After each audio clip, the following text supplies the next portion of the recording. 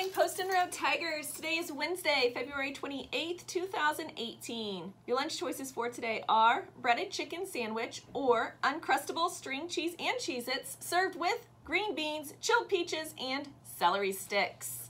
We have several birthdays today. Happy birthday to Michaela Atherton, Colton Phillips, Mason Thrasher, and Mrs. Brown. Happy birthday to all of you. I hope you all have a fantastic day. Looking ahead here, fourth grade begins I-STEP today. You've got this fourth grade, no worries. Third grade is going to be finishing I-STEP today. We also have Mr. Crawford coming in tomorrow as a watchdog, and Mr. Carver is coming in on Friday as a watchdog. All right, looking ahead here, let's look at our words of wisdom. We're going to talk about responsibility today. When was the last time you flew a kite or watched a kite flying? What keeps a kite in the air? The wind, right?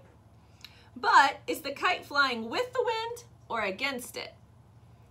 It's flying against the wind. Someone wise once said, strong people are made by opposition, like kites that go up against the wind. Opposition is something working against us. We all face opposition and problems in our lives. But when we face our problems, when we don't try to run from them or hide from them or pretend they aren't there, we become stronger people because we learn from our problems.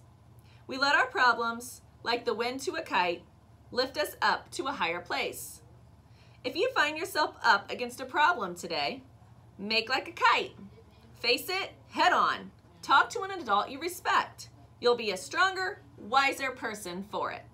With something to think about, this is Mrs. Vulcan. Make it a great day or not. The choice is yours. Please stand and face the flag for the Pledge of Allegiance. I pledge allegiance to the flag of the United States of America and to the republic for which it stands, one nation, under God, indivisible, with liberty and justice for all. Please remain standing for a moment of silence.